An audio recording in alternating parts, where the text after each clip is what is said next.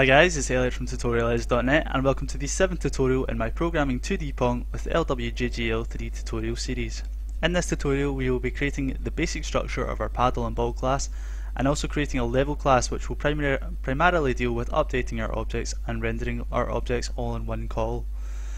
This is beneficial as it basically allows us to declare one level object at the top of our driver class and then call do one call level.draw and level.update and it basically keeps our main game loop nice and clean and simple.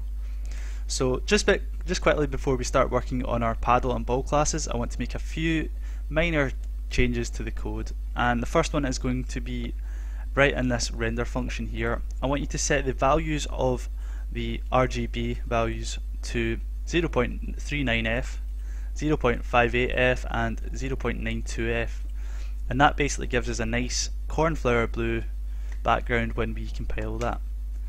Okay, the other change I want to make is if we go into the vertex array object class, um, I want you to declare a private int at the top called VAO ID. I then want you to, instead of having int VAO equals glgen vertex arrays in our create array object class uh, function, I want you to have this newly instantiated variable equal to gl gen vertex arrays just down here. And then lastly, I want you to have to create a new function um, called public int get VAO ID, and this will just be a getter for our ID, and this will help us to get rid of the int VAO ID here, and we can basically just set it here um, by calling this new getter method. Okay, so if I've forgotten any other minor tweaks that I've done, then feel free to compare your code to the GitHub, GitHub repo that contains the most recent version of the code. And I'll leave a link for this down in the description of the video. Okay, so now we'll move on to the paddle class, and basically we're going to want to go into Game Engine package and right click on that and create a new class, and it's going to be called paddle. Nice and straightforward. Um, this class is then going to extend our game object class, and this is good as it allows us to follow the dry programming principle which is don't repeat yourself. So just up at the top we're going to want to create a private vertex array object and called VAO and this will basically store all the information required for our paddle object on the screen um, so vertices and everything we've gone over in the previous few tutorials.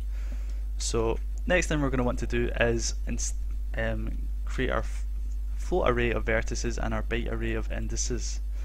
So just to get started, float vertices and this is nice and simple. So 0, 0.0, 0 0.25, 0, 0, 0, 0, 0 0.05, 0, 0, 0 0.05, 0 0.25f and 0 and then the indices just the same as we had before in our game object class.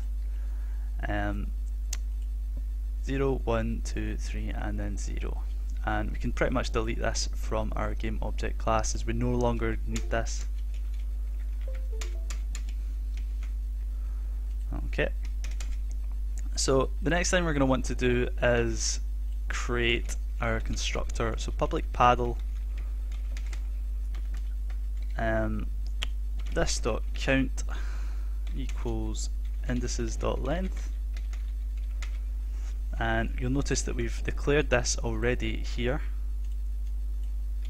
So we can delete that line and we can just steal this from the old game object class and then remove that.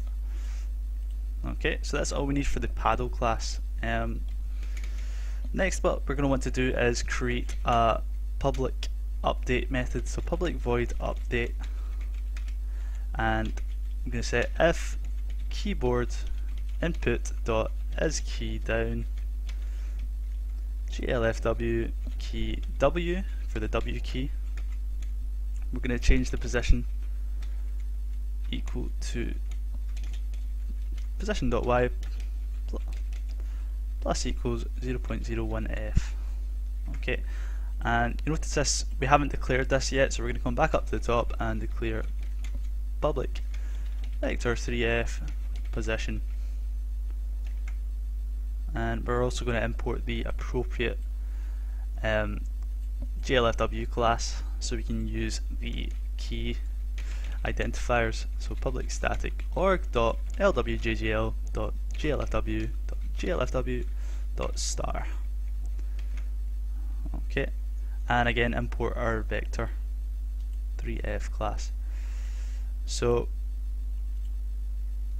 just so we don't get any null pointer errors this dot position equals new vector 3f okay. And we're going to also set if keyboard input dot is key down glfw key s. Position dot y negative equals 0.01 f. Okay so that was nice and simple. And the next thing we're going to want to do is create our level class. And same again we're going to go right click graphic game engine new class and we're going to call this level. So public level for our constructor. And we're going to want two paddles so paddle player 1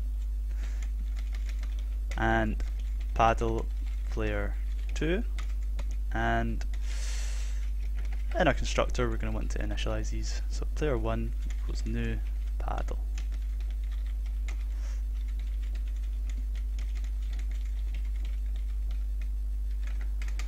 okay and again we're going to want to create public void update. Player 1 dot update and player 2 dot update. And then we're going to want to call draw public void draw. So player 1 dot draw and player 2 dot draw now until we've actually implemented our shaders there's no actual way for us to move our player 2 to a different part of the screen so we're just going to have these in comments right now until such times as we can use them. So already you should see the benefits of having everything like this contained in the one level class. Basically every game object will be handled within this one class and it basically makes our organization a lot cleaner. So take out our game object here and right in the driver class we're going to create a new level. So level level 1 equals actually import that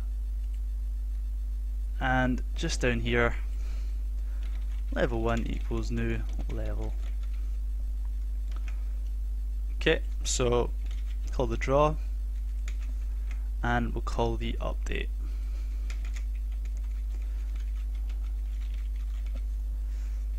okay so see if we start try render that you should see the small paddle shape that we defined in the vertices array here. Okay. Okay, so now that we've created our level and paddle class, we're also going to want to create a ball class. So right click on Game Engine, New, Class, and we're going to call it Ball. And it's going to be almost exactly the same as our paddle class, where it extends game object. And public ball as our constructor, public update, and public um, public void update sorry and that's all we need okay so we're going to put this over here open up the ball and we can pretty much copy and paste all this code in. And again we're going to copy and paste the VAO and position and vertices. Okay. And we're going to leave the update function blank right now because we can't yet um, move the ball around the screen. So there's no point having that yet. Okay, so back into our level class, ball, ball 1 equals new, uh, I'll keep it consistent, ball 1 equals new ball. ball one dot update and ball one dot draw. Okay, but instead of having the same vertices as we did in the paddle class, we're going to actually change this to 0.05 and 0.05. So if you go into our level class and take out the player 1.drawKill, you should be able to see our new ball object. You notice that it's slightly off and that's because the aspect ratio of the window follows with its height and width and we can actually set that further down the line and make it look better. But for now, that'll do. Okay, so that's all for this tutorial. In the next one, we shall be dealing with creating our shader classes and some basic shaders that will actually allow us to move our paddles and balls around the screen. So if you found this tutorial useful at all then please leave a like and subscribe to my channel for more LWJGL3 tutorials. Cheers.